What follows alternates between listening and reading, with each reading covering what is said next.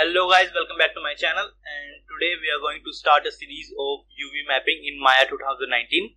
So let's start and now I'm going to show you four or five primitives and I will unwrap it in Maya. So let's start. First of all, I'm going to take a cube.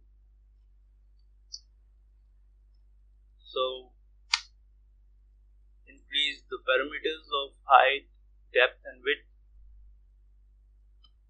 as much as want. So I'm going to make it 5 5 and 5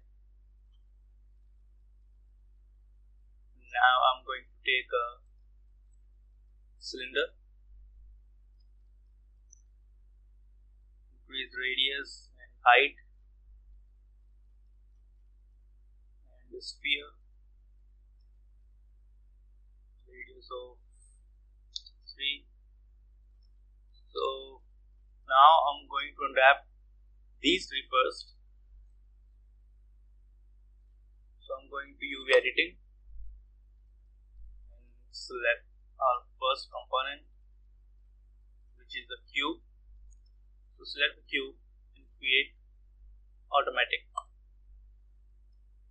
Now we have to stitch all these faces together.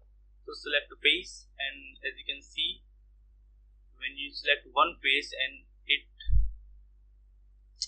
shows where it would stitch. You select a face press shift right click and move and see edges.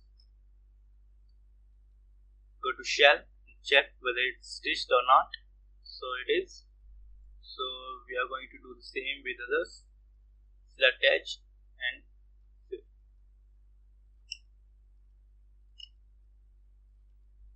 and when all edges are stitched select your UV shell press shift and right click and lay out the UV so our box is unwrapped